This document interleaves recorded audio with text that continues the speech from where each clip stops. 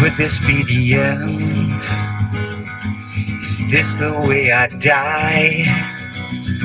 Sitting here alone, no one by my side. I don't understand. I don't feel that I deserve this. What did I do wrong? I just don't understand. I just don't understand.